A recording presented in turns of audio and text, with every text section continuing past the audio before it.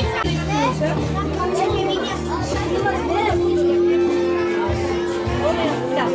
你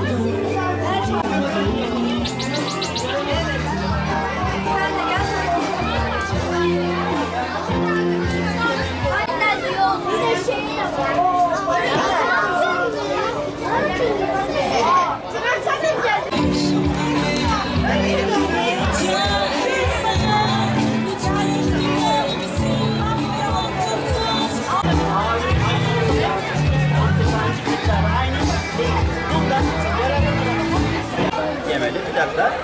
Biraz daha fazla alalım. Evet, deterjanı yok. Onu yiyebilir misin? Yeme. Bunu yeme. Evet, şimdi efendim hangisinden alalım şimdi? Peki bundan üzerine koyduğumda ne olur sizce? Karışmaz mı? Evet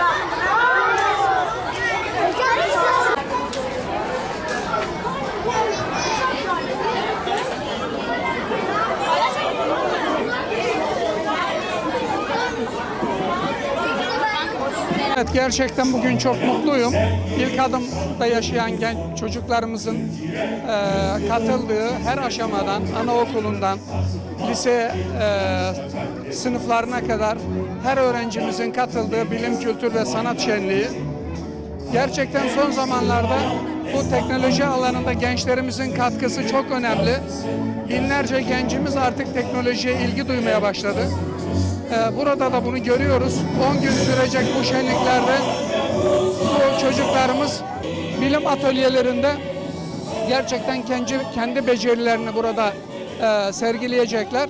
Biz de inşallah İlk Adım Belediyesi olarak projelerimiz arasında olan Bilim Kampüsü e, adı altında güzel bir e, kampüs yapacağız ve ilk adımlı e, başta gençlerimizin, çocuklarımızın olmak üzere bütün ilk adımlı hemşehrilerimizin hizmetine sunacağız. İlimizde eğitim öğretim faaliyetlerinin desteklenmesi kapsamında e, çok yönlü çalışmalar sürdürülüyor. Bunlardan bir tanesi de bugün e, açılışını yaptığımız TÜBİTAK 4007 projeleri kapsamındaki etkinliğimiz. E, Gerçekten e, bu sene eğitim öğretim sürecine büyük bir heyecan ve coşkuyla başladık. Bunun en önemli boyutlarından bir tanesi de Türkiye Yüzyılı Marif modeliydi. Model kapsamında okul dışı okul dışı öğrenme ortamları çocukları heyecanlandırmak, onların e, desteklemek üzere kurgulandı.